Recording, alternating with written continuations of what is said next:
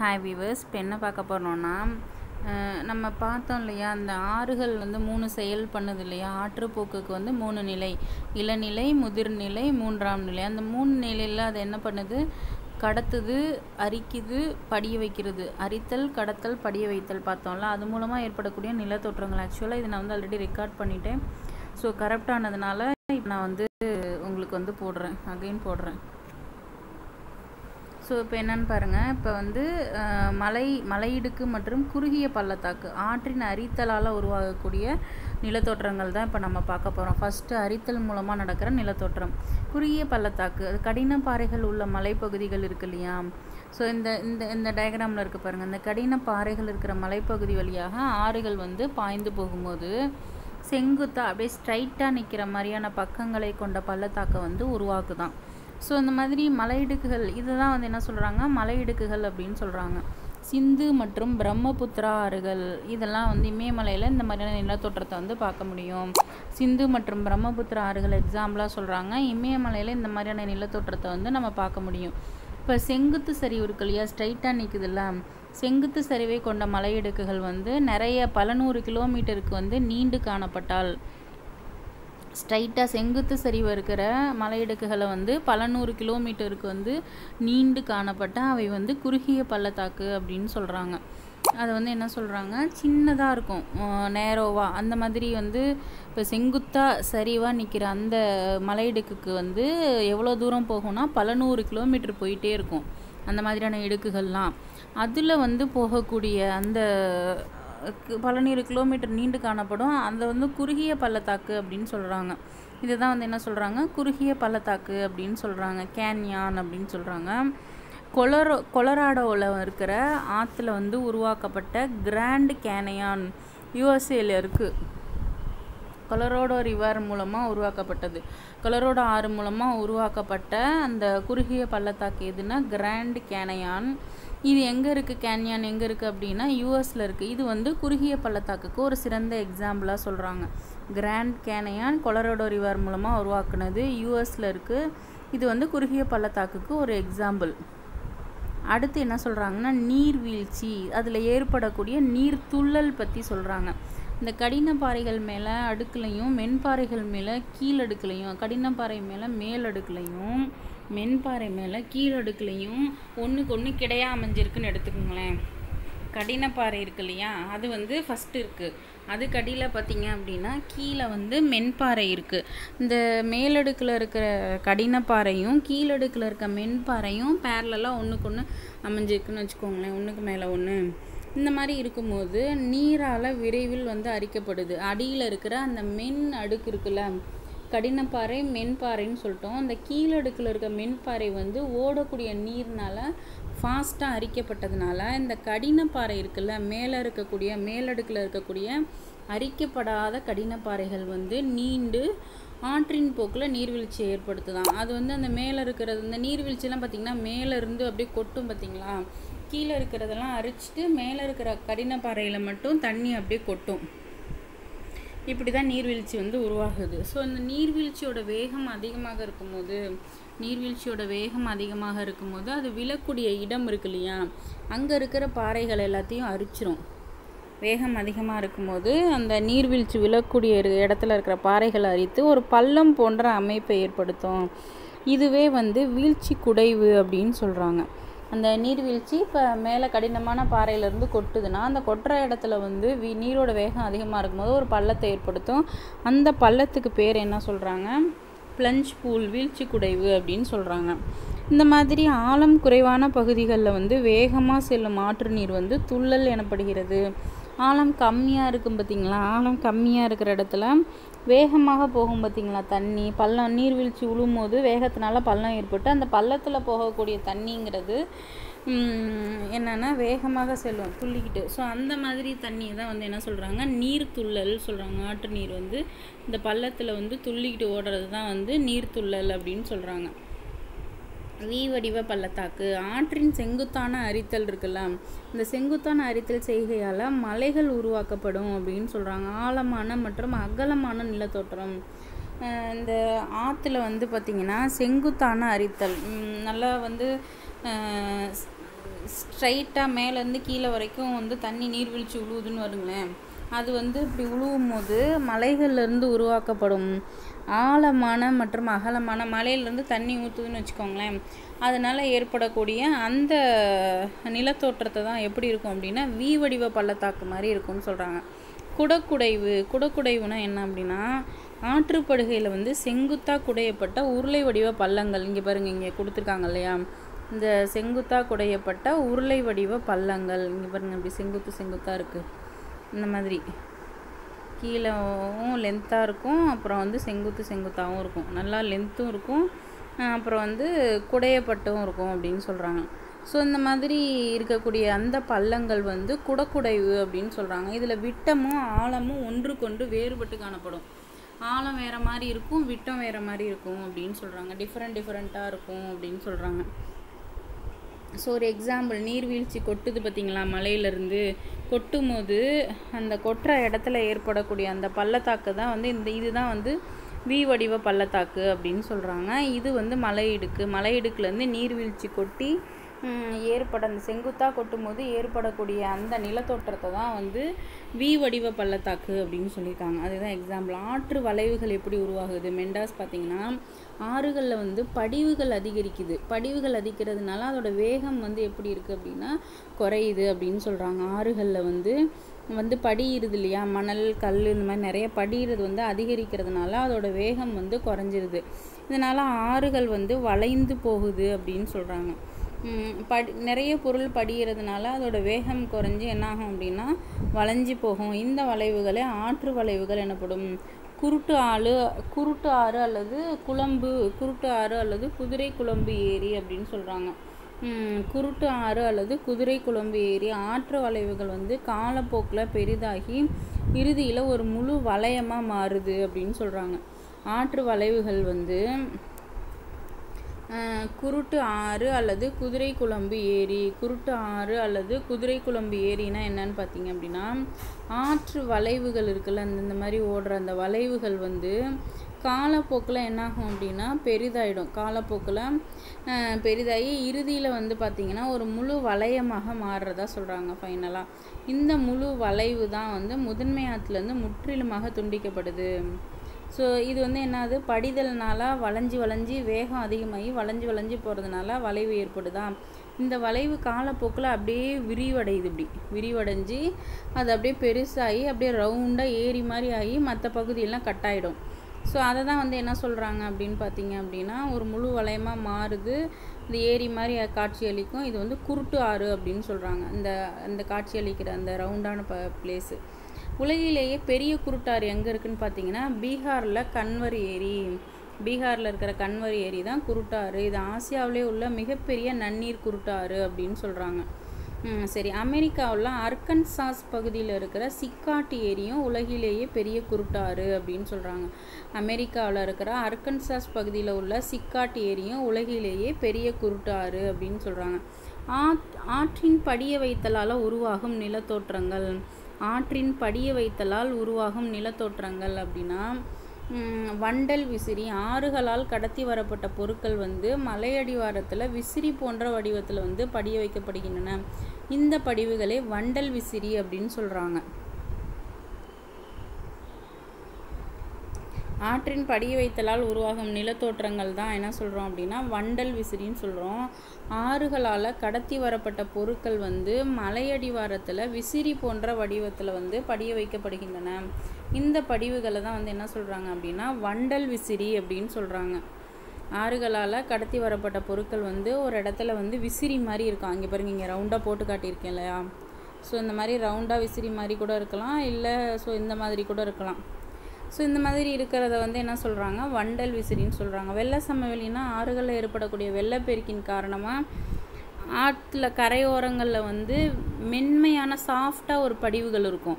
அதுதான் வெள்ள சமவெளி அப்படின்னு சொல்கிறாங்க ஆறுகள் தொடர்ந்து ஆற்றின் கரைகளில் வந்து படிவுகளை படிய வைக்கிறதுனால ஆற்றின் கரைகள் அதிகமாக உயர்த்தப்படுது. ஸோ இது வந்து உயர் அணை அப்படின்னு சொல்கிறாங்க ஓதபொங்கு டெல்டா இருக்குல்ல? இந்த ஓதபொங்கு டெல்டா வந்து கடைசியாக வந்து ஃபார்ம் ஆகும்னு சொன்னோம் நம்ம பார்த்தோம்ல. படிய வைத்தல் மூலமாக ஃபார்ம் ஆகிறது வந்து என்னென்னா ஓதபொங்கு டெல்டாலாம் ஃபார்ம் ஆகும் அப்படின்னு பார்த்தீங்க இல்லையா? இந்த ஓதபொங்கு முகம் அப்படின்னா ஆறு கடலில் சேரும் இடம் அப்படிங்கிறது நான் உங்களுக்கு மேலே டயக்ராமில் ஆல்ரெடி நான் எக்ஸ்பிளைன் பண்ணேன் பாருங்கள் ஸோ என்ன என்னோடய வீடியோ ஃபாலோ பண்ணிங்கன்னா உங்களுக்கு தெரியும். ஸோ இங்கே பாருங்கள் ஆறு இருக்கு இல்லையா? ஆறு வந்து இந்த ரவுண்டாக இங்கே வந்து மார்க் பண்ணி காட்டியிருக்கேன் பாருங்கள் இந்த இடம். ஆறு வந்து இந்த கடலோடு சேரக்கூடிய இந்த இடம் இருக்குது பாருங்கள் இந்த இடம் வந்து என்ன சொல்கிறாங்க அப்படின்னா ஆறு வந்து இந்த கடலோடு சேரக்கூடிய இந்த இடத்த தான் வந்து ஓத பொங்கு பொங்கு முகம் அப்படின்னு சொல்லுவாங்க. அதுக்கு முன்னாடி இந்த இடத்துல தான் வந்து பார்த்திங்கன்னா டெல்டா இருக்கும். டெல்டாவில் வந்து படிய வைத்தல் நிகழாது. பொங்கு முகத்தில் தான் வந்து படிய வைத்தல் நிகழும். இங்கே பாருங்கள் அதான் இங்கே எக்ஸ்பிளைன் பண்ணியிருப்பாங்க உங்களுக்கு ஓத பொங்குனா என்னன்னு ஸோ ஆறு கடலை சேரும் இடங்கள் உருவாகுது. பொதுவாக இந்த வகை நிலத்தோற்றங்கள் வந்து படிய வைத்தல் செயல் நடக்காது பொங்கு முகத்தில். சாரி பொங்கு முகத்தில் தான் படிய வைத்தல் நிகழாது. டெல்டாவில் வந்து படிய வைத்தல் நிகழும். படிய வைத்தல்னால தான் டெல்டாவே ஃபார்ம் ஆகும்னு சொல்லுவாங்க. இங்கே டெல்டாக்கள் போல் படிய வைத்தல் நடைபெறாது. இந்தியாவில் வந்து ஓத பொங்கு பொங்கு முகத்துக்கு எக்ஸாம்பிள் எதுன்னு பார்த்தீங்கன்னா நர்மதா தபதி. நர்மதா தபதி தான் வந்து என்ன அப்படின்னு பார்த்தீங்கன்னா பொங்கு முகத்துக்கு எக்ஸாம்பிள் சொல்லியிருக்காங்க. அடுத்து வந்து பார்த்திங்கன்னா டெல்டா ஆற்றின் முகத்வாரத்தில் படிவுகள் வந்து முக்கோண வடிவில் இருக்கும். ஆற்றின் முகத்வாரத்தில் வந்து பார்த்திங்க அப்படின்னா படிவுகள் வந்து முக்கோண வடிவத்தில் இருக்கும். ஸோ இங்கே பாருங்கள் இந்த இங்கே வந்து முகத்வாரம் அப்படின்னா இந்த கனெக்ட் ஆகுது இல்லையா? ஆறு இது வந்து ஆறு. இது வந்து கடல். இந்த கடலோட கலக்கிற இந்த இடத்த தான் முகத்வாரம்னு சொல்லுவோம். இந்த முகத்வாரத்தில் படியக்கூடிய பொருட்கள்லாம் எப்படி இருக்கும்னா இந்த மாதிரி முக்கோண வடிவத்தில் ஃபார்ம் ஆகும். ஸோ இதை தான் வந்து என்ன சொல்லுவாங்க அப்படின்னா வெடிச்சு நிலம்லாம் வெடிச்ச மாதிரி இருக்கும்ல. ஸோ இதுதான் டெல்டா. இங்கே படிய வைத்தல் நிகழும். இங்கே பாருங்கள் இங்கே காட்டியிருக்காங்க. ஸோ இந்த மாதிரி ட்ரையாங்கிள் ட்ரையாங்கிளாக ஃபார்ம் ஆகிறது தான் வந்து என்ன அப்படின்னா டெல்டா அப்படின்னு சொல்கிறாங்க சரி. இப்போ வந்து இதில் வந்து என்ன இருக்கும் அப்படின்னா வண்டல் படிவுகள் வந்து மென்மனையாகவும் தாதுக்கள் நிறைந்ததாகவும் இருக்கும். டெல்டாவில் வந்து படிய வைத்தல் நிகழுதுன்னு சொல்லியாச்சு. அப்போ என்ன பொருள் படியும் அப்படின்னு பார்த்தீங்கன்னா வண்டல் படிவுகள் இருக்கும். வண்டல் படிவுகள் ரொம்ப சாஃப்டான வண்டல் படிவுகளும் தாதுக்கள் நிறைந்ததாகவும் காணப்படுது அப்படின்னு சொல்கிறாங்க இது வந்து காவிரி டெல்டா தமிழ்நாடு அப்படின்னு சொல்கிறாங்க எக்ஸாம்பிள் வந்து காவிரி டெல்டா தமிழ்நாடு அப்படின்னு சொல்கிறாங்க தகவல் பேலை டெல்டா என்ற கிரேக்க எழுத்து போன்று நைல் நதியின் முகல் துவாரத்தில் காணப்படும் படிவுகள் இருக்கிறதுனால இவ்வகை படிவுகளுக்கு வந்து டெல்டா என்ற பெயர் வந்து வழக்கத்தில் இருந்திருக்கு அப்படின்னு சொல்கிறாங்க டெல்டா என்ற பெயர் வந்து வழக்கத்தில் இருந்திருக்கு. டெல்டா என்ற கிரேக்க எழுத்து போன்று நைல் நதியோட முக துவாரத்துலையும் காணப்படக்கூடிய படிவுகள் இருக்கிறதுனால நைல் நதியோட முக துவாரத்துலையும் பதிவுகள் இருக்குது அப்படின்னு சொல்கிறாங்க டெல்டாங்கிற அந்த கிரேக்க எழுத்து டெல் இருக்கு இல்லையா? இது எதுலேருந்து வந்ததுன்னா அந்த நைல் நதியோட முகத்வாரம் இருக்குல்ல? நைல் நதி கலக்க கடலோட அந்த கலக்கிற இடத்துல வந்து இந்த மாதிரி டெல் மாதிரி தான் இருக்குமா சிம்பல்? இதில் இருந்து தான் வந்து இந்த கிரேக்க எழுத்து டெல் அப்படிங்கிறதே வந்தது அப்படின்னு சொல்கிறாங்க ஸோ உலகிலேயே மிக சிறந்த டெல்டா பகுதி எது அப்படின்னு பார்த்தீங்க அப்படின்னா கங்கையும் பிரம்மபுத்திராவும் தான் உலகத்திலே மிகப்பெரிய டெல்டா அப்படின்னு சொல்கிறாங்க அடுத்து வந்து நிலத்தடி நீர் பார்க்கணும்.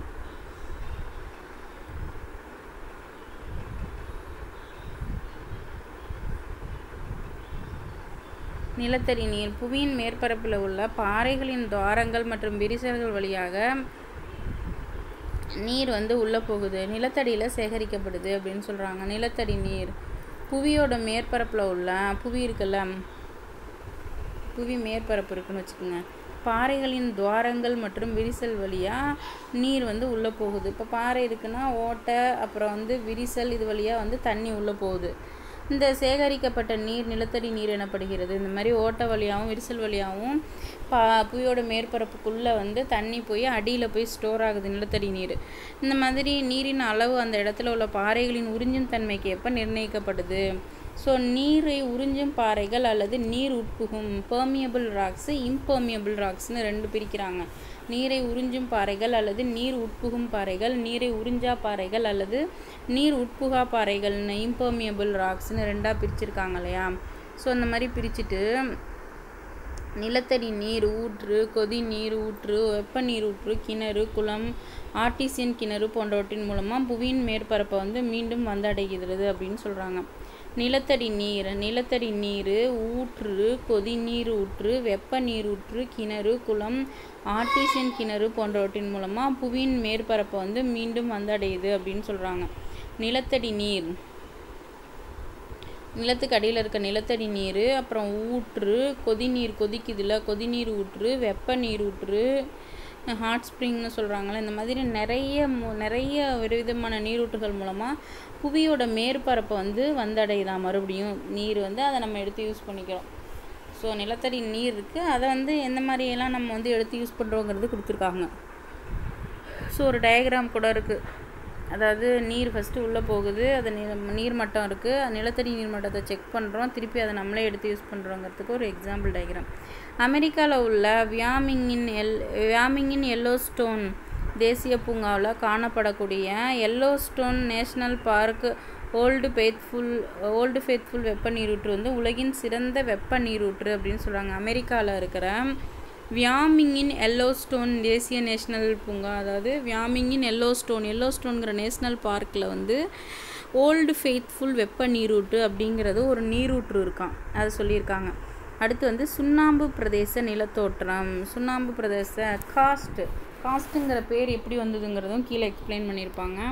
காஸ்ட் டோஃபோகிராஃபி சுண்ணாம்பு பிரதேச நிலத்தோற்றம் சுண்ணாம்பு நிலப்பிரதேசங்களில் நிலத்தடி நீர் அடியில் வந்து நிலவாட்டம் அமைக்கும் செயல்களினால பல்வேறு விதமான நிலத்தோற்றங்களை வந்து ஏற்படுத்துது. இவையே வந்து சுண்ணாம்பு பிரதேச நிலத்தோற்றங்கள் அப்படின்னு சொல்கிறாங்க இதெல்லாம் வந்து என்ன சொல்கிறாங்க அப்படின்னா அதாவது சுண்ணாம்பு நிலப்பிரதேசங்கள்லாம் அடியில் வந்து நிலத்தடி நீர் வந்து நிலவாட்டம் அமைக்கும் செயல்களினால பல்வேறு விதமான நிலத்தோற்றங்களை வந்து ஏற்படுத்துதான். சுண்ணாம்பு நிலப்பிரதேசங்கள்லாம் அடியில் நிலத்தடி நீர் இருக்கு இல்லையா? நிலவாட்டம் அமைக்கும் செயல்களினால் நிலவாட்டம் அமைக்கும் செயல்களினால் பல்வேறு விதமான நிலத்தோற்றங்களை வந்து ஏற்படுத்துது அப்படிங்கிறாங்க. இவையே சுண்ணாம்பு பிரதேச நிலத்தோற்றங்கள் எனப்படுகின்றன. இதை தான் வந்து என்ன சொல்கிறாங்க சுண்ணாம்பு பிரதேச நிலத்தோற்றங்கள் அப்படின்னு சொல்கிறாங்க நீரில் வந்து எளிதில் கரையும் தன்மையுடையன. இந்த மாதிரி சுண்ணாம்பு பிரதேச நிலத்தோற்றங்கள் இருக்கு இல்லையா? இந்த மாதிரி இருக்கிற இந்த இந்த வகையான அந்த பாறை அங்கே இருக்கிற அந்த நிலத்தோற்றம்லாம் வந்து அதில் இருக்க சுண்ணாம்புலாம் நீரில் எளிதில் கரையும். சுண்ணாம்புக்கல் டாலமைட் ஜிப்சம் போன்ற பாறை பிரதேசங்களில் வந்து காணப்படுது அப்படின்னு சொல்கிறாங்க டாலமைட் ஜிப்சம் இதெல்லாம் வந்து பாறை பிரதேசங்களில் வந்து காணப்படுது. மேற்கு ஸ்லோவேனியாவில் இருக்கிற சுண்ணாம்பு பிரதேச நிலத்தோற்றம் எங்கே இருக்குதுன்னு பாருங்கள் மேற்கு ஸ்லோவேனியாவில் இந்த மாதிரி ஒரு சுண்ணாம்பு நிலத்தோற்றம் இருக்குது இந்த சுண்ணாம்பு நிலத்தோற்றத்தில் என்னென்ன பொருள் இருக்கும்? சுண்ணாம்புக்கள் டாலமைட் ஜிப்சம் இருக்கும். இதெல்லாம் நீரில் எளிதில் கலையும் நிலத்தடி நிலத்தடி நீர் இருக்குல்ல அது மூலமாக தான் அதோட பல செயல்கள்னால தான் இந்த சுண்ணாம்பு நிலத்தோற்றமே அமையுது அப்படின்னு சொல்லியிருக்காங்க. அதுக்கப்புறம் பாருங்கள் இது எங்கே இருக்குது மேற்கு ஸ்லோவேனியாவில் இருக்கிற சுண்ணாம்பு பிரதேச நிலத்தோற்றம் வந்து சுமார் நானூற்றி எண்பது கிலோமீட்டர் நீளத்துக்கும் எண்பது கிலோமீட்டர் அகலத்துக்கும் பரவி காணப்படுதான். ஸோ எவ்வளோ இருக்குது நீளம் வந்து நானூற்றி எண்பது கிலோமீட்டர். அகலம் வந்து எவ்வளோ இருக்குது எண்பது கிலோமீட்டருக்கு பரவி காணப்படுது. இந்த நிலத்தோற்றம் வந்து ஸ்லாவிக் இந்த நிலத்தோற்றத்தை வந்து என்ன சொல்கிறாங்க ஸ்லாவிக் மொழியில் காஸ்ட் அப்படின்னு சொல்கிறாங்க கர்ஸ்ட் டொஃபோகிராஃபின்னு மேலே பார்த்தீங்கல்ல ஸ்லாவிக் மொழியில் காஸ்ட் அப்படின்னு சொல்கிறாங்க இங்கிலீஷில் இங்கே காஸ்ட் டொஃபோகிராஃபின்னு எக்ஸ்பிளைன் பண்ணியிருக்காங்க பாருங்கள் அதை தான் இங்கே சொல்கிறாங்க ஸ்லாவிக் மொழியில் இது என்ன சொல்கிறாங்க கர்ஸ்ட்டுன்னு சொல்கிறாங்க கிரேட் ஆஸ்திரேலியாவோட கடற்கரையில் அமைஞ்சிருக்கிற இந்த நல்லர் பார் உலகின் மிகப்பெரிய சுண்ணாம்பு பிரதேச நிலத்தோற்றம். சரி இப்போ என்னென்ன பார்த்தீங்க அரித்தல் மூலமாக ஏற்பட்ட அந்த நீர் துள்ளல் பார்த்தீங்க அந்த குறுக்கு கூ என்னது? குறுக்கு பள்ளத்தாக்கா? குறுகிய பள்ளத்தாக்கு எப்படி இருக்குது அப்புறம் டெல்டா எப்படி ஃபார்ம் ஆகுது? இது எல்லாமே பார்த்தீங்க. அதுக்கப்புறம் பொங்கு முகம்னா பார்த்தீங்க. நிலத்தடி நீர் பார்த்தீங்க. இப்போ வந்து நம்ம வந்து சுண்ணாம்பு நிலத்தோற்றம் பார்த்துட்ருக்கோம். அது வந்து நிலத்தடி நீர் மூலமாக உருவாகிறது. அதோட செயல்கள்னால அந்த சுண்ணாம்பு நிலத்தோற்றம். நல்லர்பார் தான் வந்து உலகின் மிகப்பெரிய சுண்ணாம்பு பிரதேச நிலத்தோற்றம் அப்படின்னு சொல்லிட்டாங்க. உலகில் சுண்ணாம்பு நில பிரதேசங்கள் காணப்படும் இடம் எங்கெங்கன்னு பாருங்கள் தெற்கு ஃப்ரான்ஸு ஸ்பெயின் மெக்சிகோ ஜமைக்கா மேற்கு கியூபா மத்திய நியூக்கினியா இலங்கை மற்றும் மியான்மார். எங்கெங்கெல்லாம் இருக்குன்னு பாருங்கள் தெற்கு தெற்கு ஃப்ரான்ஸு மேற்கு கியூபா இலங்கையில் இருக்குது ஸ்பெயினில் இருக்குது மெக்சிகோவில் இருக்குது ஜமைக்காவில் மத்திய நியூக்கினியா தெற்கு மேற்கு மத்தியன்னு மூணு வருது. தெற்கு ஃப்ரான்ஸு. மத்திய மத்திய நியூக்கினியா அதுக்கப்புறம் மேற்கு Cuba Mexico Jamaica Spain Myanmar Ilangai. So இங்கெல்லாம் வந்து இருக்குது அப்படின்னு சொல்கிறாங்க ஸோ நிலத்தடி நீரோட அரித்தல் மற்றும் படிய வைத்தல் செயல்களால் உருவாக்கப்படக்கூடிய நிலத்தோற்றம் தான் சுண்ணாம்பு நிலத்தோற்றம் பிரதேசம்னு சொல்லியாச்சு. சரி இது வந்து பாருங்கள் இந்தியாவில் வந்து இந்த சுண்ணாம்பு பிரதேச நிலத்தோற்றம் எங்கே இருக்குன்னு பாருங்கள் மேற்கு பீகார் மேற்கு பீகாரில் இருக்கிற குப்ததாம் குகை. இது வந்து சுண்ணாம்பு நிலத்தோட்டத்துக்கு ஒரு எக்ஸாம்பிள் மேற்கு பீகாரில் இருக்கிற இந்தியாவில் இதெல்லாம்.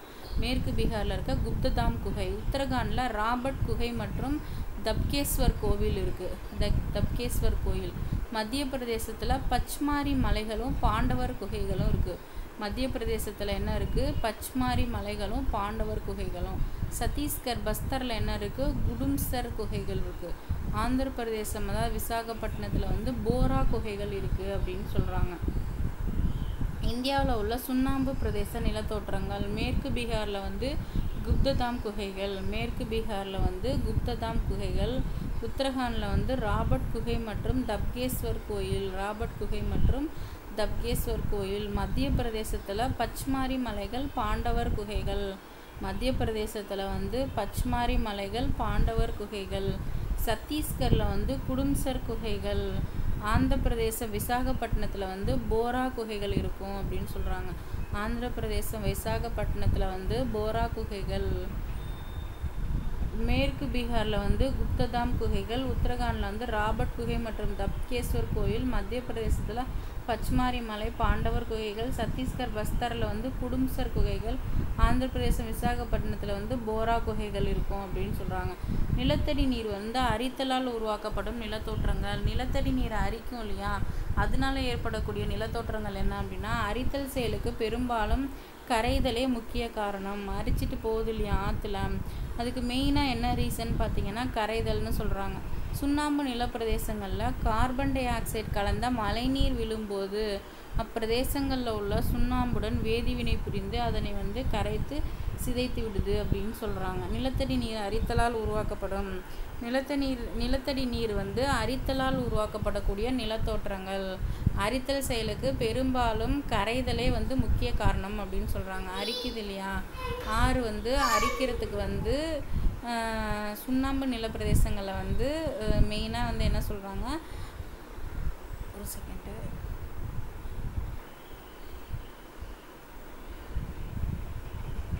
நிலத்தடி நீர் அரித்தலால் உருவாக்கப்படக்கூடிய நிலத்தோற்றங்கள். இது வந்து பார்க்க போகிறோம் இப்போ. மொதல் வந்து நிலத்தடி நீரோட பல்வேறு செயல்களால் உருவான சுண்ணாம்பு இது பார்த்தீங்க இல்லையா? இப்போ அரித்தல்னால ஃபஸ்ட்டு ஸ்பெசிஃபிக்காக சொல்லியிருக்காங்க அதில். அரித்தல் செயலுக்கு பெரும்பாலும் க கரைதல் தான் வந்து முக்கிய காரணம். அரித்தலுக்கு என்ன ரீசன் கரைதல் தான். சாரி சரி. கார்பன் டை ஆக்சைடு கலந்த மழைநீர் இருக்குல்ல மழை நீரில் கார்பன் டை ஆக்சைடு இருக்கா? அது வந்து கீழே விழுது. விழும்போது அது வந்து சுண்ணாம்போட வேதிவினை புரியுது. சுண்ணாம்பு கீழே பாறையில் இருக்க சுண்ணாம்போட அந்த மழைநீர் வந்து கார்பன் டை ஆக்சைடோடு இருக்கிற மழைநீர் வேதிவினை புரியும் போது அது கரைத்து வந்து பாறையை சிதைச்சிடுது இதன் விளைவாக தான் வந்து என்ன ஆகுது அப்படின்னா சுண்ணாம்பு நிலப்பிரதேசங்களில் உள்ள சுண்ணாம்பு மண் வந்து கரைஞ்சிரும். கரைஞ்சி சிதைவுற்று அதில் உள்ள எஞ்சிய செம்மண் மட்டும் இங்கே படிய வைக்கப்படுது அப்படிங்கிறாங்க. பாறையில் வந்து பாருங்கள் செம்மண் மட்டும் படிய வைக்கப்படும். சுண்ணாம்பெல்லாம் கரைஞ்சிருமா? இந்த இந்த மண் வந்து ஏன் சிகப்பு நிறமாக இருக்குன்னா அதில் வந்து இரும்பு ஆக்சைடு இருக்குது அப்படின்னு சொல்கிறாங்க செம்மண் ஏன் சிவப்பு நிறமாக இருக்குன்னா அதில் வந்து இந்த கார்பன் டை ஆக்சைடில் வந்து இரும்பு ஆக்சைடு மட்டும் இருக்கிறதுனால சிகப்பு நிறமாக இருக்குது அப்படின்னு சொல்கிறாங்க அடுத்து வந்து லேபீஸ். லேபீஸ் வந்து எப்படி ஃபார்ம் ஆகுது அப்படின்னு பார்க்கலாம்.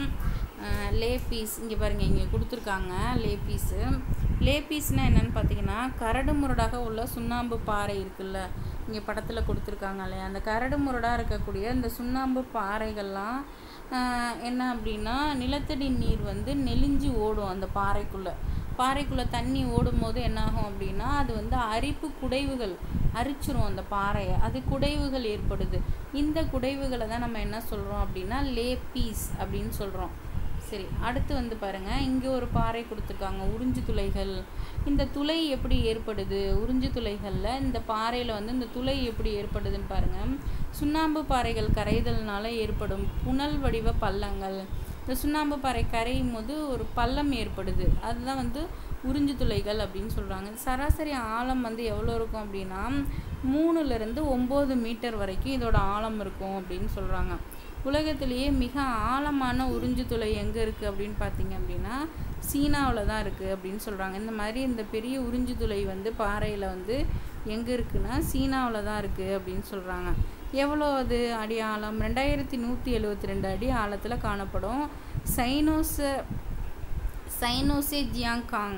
சைனோசே ஜியாங்காங். அது பேர் என்னன்னா சைனோசே ஜியாங்காங்.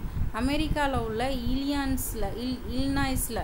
இலி இலினாய்ஸில் வந்து பதினைந்தாயிரக்கு மேல் உறிஞ்சு துளைகள் இருக்கான் அமெரிக்காவில் வந்து எத்தனை உறிஞ்சு துளைகள் இருக்குன்னா ஃபிஃப்டீன் தௌசண்டை விட அதிகமாக இருக்குது அப்படின்னு சொல்கிறாங்க யூஎஸில் இலினாய்ஸில். அடுத்து வந்து பார்த்திங்க அப்படின்னா குகைகள் மற்றும் அடிநில குகைகள். குகைகளும் அடிநில குகைகளும் சுண்ணாம்பு பிரதேசங்களும் நிலத்தடியில் வந்து எப்படி உருவாகுது? இங்கே பாருங்கள் இந்த குகை கொடுத்துருக்காங்க ஒரு எக்ஸாம்பிள் அதாவது கரியமிலம் இருக்கு இல்லையா? கரியமில அமிலம் வந்து சுண்ணாம்பு பாறைகளோடு சேர்ந்து வினை புரியுது.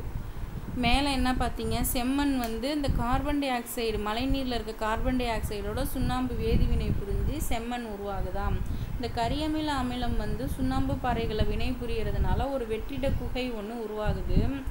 இதில் வந்து அந்த அந்த அந்த குகை வந்து வேறுபட்டு இருக்கும். சைஸில் அடிநிலை குகைகளோட தரைப்பகுதி வந்து இங்கே பாருங்கள் கீழே இருக்கு இல்லையா? அந்த தரைப்பகுதி வந்து சமமற்று இருக்கும் அடிநிலை குகைகள் அப்படிங்கிறாங்க. மேற்கு பீகாரில் இருக்க குப்ததாம் இதுதான் வந்து மேற்கு பீகாரில் இருக்கிற குப்ததாம் அடிநிலை குகை குகைகள் அடிநிலை குகைகள் படி வைத்தலால் உருவாக்கப்படுறது. இந்த நிலத்தோற்றங்கள் எல்லாமே ஸ்பீலியோ தேர்ம்ஸ் என அழைக்கப்படுகின்றன. இந்த குகை அடிநிலை குகைகள்லாம் இருக்குல்ல இதெல்லாம் வந்து என்ன சொல்கிறாங்க அப்படின்னா ஸ்பீலியோ தேர்ம்ஸ் அப்படின்னு சொல்கிறாங்க ட்ரேவர் ட்ரேவர்டைன் ட்ரேவர்டைன் அப்புறம் வந்து டூஃபா மற்றும் சொட்டுப்படிவுகள். என்னென்ன இந்த ஸ்பீலியோத்தம்ஸ் வந்து என்னென்னலாம் பிரிக்கிறாங்க அப்படின்னா கிளாஸிஃபை பண்ணுறாங்கன்னா ட்ரேவர்டைன் ட்ரேவர்டைன் டூஃபா சொட்டுப்படிவுகள் அப்படின்னு சொல்லிட்டு இதில் லீபியோதெம்ஸையும் சாரி ஸ்பீலியோதெம்ஸையும் சேர்த்தே சொல்கிறாங்க குகைகள் குகைகள் யுவாலாக்கள் டோலின்கள். குகைகள் யுவாலாக்கள் டோலின்கள் போல்ஜெக்கள் போன்ற நிலத்தோற்றங்கள் வந்து உலகின் பிற பகுதிகள்லையும் காணப்படுது. என்னென்ன சொல்கிறாங்க யுவாலா டோலின் போல்ஜேக்கல் இதெல்லாம் இருக்குது மற்ற இடத்துலையும் இருக்குங்கிறாங்க. தகவல் பேலை ஒன்று கொடுத்துருக்காங்க பாருங்கள் குகையிலலாம் பூச்சி இருக்கு இல்லையா? அந்த பூச்சி வந்து அதுக்கெல்லாம் வந்து கண்ணு தெரியாது. பார்வை திறனை இழந்து விடுறதுனால உணர் கொம்புகள் இருக்குமா குகையில் இருக்க பூச்சிகளுக்கு. அந்த கொம்பை வச்சு தான் அது வந்து பார்வையை உணரும் அப்படின்னு சொல்கிறாங்க நிலத்தடி நீர் படிவு நிலத்தோற்றங்கள் சுண்ணாம்பு நில பிரதேசங்களில் உள்ள குகை மற்றும் அடிநில குகை மேல் தளம் தரை மற்றும் பக்க சுவர்களில் தளம் தரை பக்க சுவர்கள் இருக்கு இல்லையா? அந்த சைடுலேயும் சரி தரையிலையும் சரி அப்புறம் மேலே இருந்தும் சரி ஒழுகும். என்னன்னா நிலத்தோற்றங்கள் படிவுகள் படிய வைக்கப்படுறதுனால இந்த மாதிரி உருவாகுதா? அந்த கல் விழுது கல் முளை மற்றும் செங்குத்து கல் தூண்னு சொல்கிறாங்க அந்த கல் விழுது கல் முளை அப்புறம் செங்குத்து கல் தூண். இது எப்படி உருவாகுது அப்படின்னா குகைகளோட கூரைகள்லேருந்து ஒழுகக்கூடிய கால்சியம் கார்போனைட் என்ன ஒழுகுது? கால்சியம் கார்போனைட் வந்து மேல் பகுதியிலேருந்தும் ஒழுகுது. அது வந்து நீராவியாகி கால்சைட் விழுதுகள் போன்று அது அப்படியே நீராவியாகி கால்சைட் விழுது வேறு மாதிரி கீழே இறங்கி தரைத்தளத்தை தொடும். மேலிருந்து கீழே இறங்குறது வந்து என்ன சொல்கிறாங்க அப்படின்னா கல்விழுது என்று அழைக்கப்படுது. மேலிருந்து கீழே இறங்குறது வந்து கல் விழுது. கீழிருந்து மேலே போகிறத வந்து என்ன சொல்கிறாங்க கல் முளை அப்படின்னு சொல்லுவாங்க. ஸோ கல் விழுதுன்னா வேர் இறங்குறதுன்னு ஞாபகம் வச்சுக்கோங்க.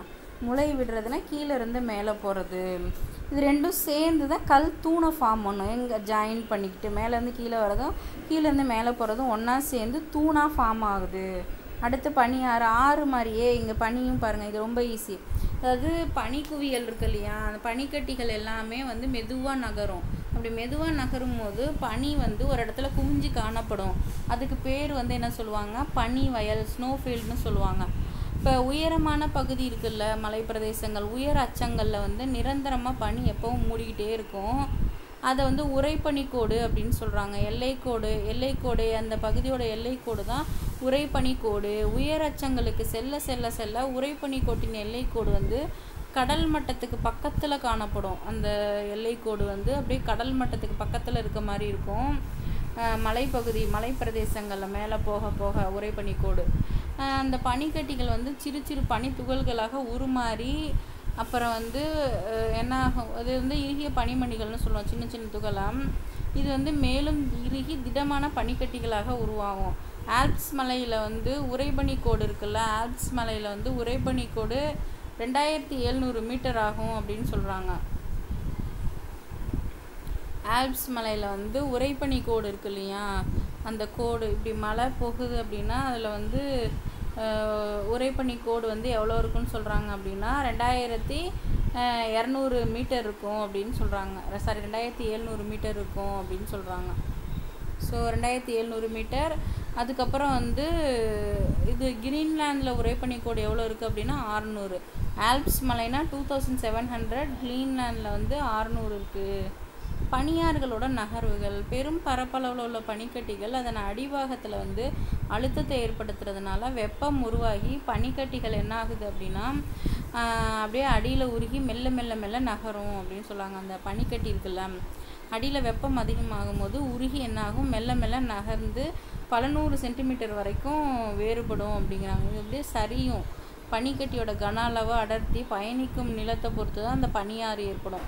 இந்த பனியாறுகளோட வகைகள் இருக்கும்ல அந்த கடத்துதல் அது கண்ட பனியாறு பள்ளத்தாக்கு பனியாறுன்னு ரெண்டு பனியாறு அதை வந்து இந்த டயக்ராம்லேயே எக்ஸ்பிளைன் பண்ணியிருப்பாங்க. கண்ட பனியாறு பள்ளத்தாக்கு பனியாறு. கண்ட பனியாறுனா என்னென்னா கண்டங்கள் வந்து அடர்ந்த பனியால் மூடப்பட்டிருக்கு. இப்போ ஆப்பிரிக்கா அந்த மாதிரி ஏதோ இருக்குன்னு வச்சுக்கோங்களேன். அந்த பரந்த நிலப்பரப்பு வந்து கண்ட பனியாறு பனிமூடிய மலைத்தொடர்கள்லேருந்து உற்பத்தி ஆகக்கூடிய பனியாறு வந்து மலைகள்லேருந்து வரக்கூடிய பனியாறு வந்து என்ன சொல்கிறாங்க அப்படின்னா பள்ளத்தாக்கு பனியாறு அப்படின்னு சொல்கிறாங்க அதுக்கப்புறம் அந்த பனிமூடிய பனியாறு கண்ட பனியாறு சாரி பள்ளத்தாக்கு பனியாறு கண்ட பனியாறு பார்த்துட்டிங்கல்ல. இந்த பனியாறு அரித்தலால் உருவாகக்கூடிய நிலத்தோற்றங்கள் தான் இப்போ நம்ம அடுத்து பார்க்க போகிறோம் ஜென்ரலாக ஆறுகளோட அந்த செயல்களால் அரித்தல் கடத்தல்னால பார்த்தீங்களா இப்போ பனியாரோட அறத்தல் அரித்தல் கடத்தல் படி வைத்தல் மூலமாக உருவாகக்கூடிய நிலத்தோற்றங்களை பார்க்க போகிறோம் தேங்க்யூ சேனல் பிடிச்சிருந்தா சப்ஸ்கிரைப் பண்ணுங்கள் உங்கள் ஃப்ரெண்ட்ஸ்க்கு ஷேர் பண்ணுங்கள் ஸோ இந்த நிலத்தோற்றங்கள் பார்த்துட்டோன்னா இதோட இந்த யூனிட் முடிஞ்சிடும் நெக்ஸ்ட்டு வந்து இந்த யூனிட்டுக்கு அடுத்து வளிமண்டலம் இருக்குது வளிமண்டலம் வந்து நம்ம இதை முடிச்சுட்டு அதை பார்ப்போம் தேங்க்யூ சேனல் பிடிச்சிருந்தா சப்ஸ்கிரைப் பண்ணுங்கள் உங்கள் ஃப்ரெண்ட்ஸ்க்கு ஷேர் பண்ணுங்கள்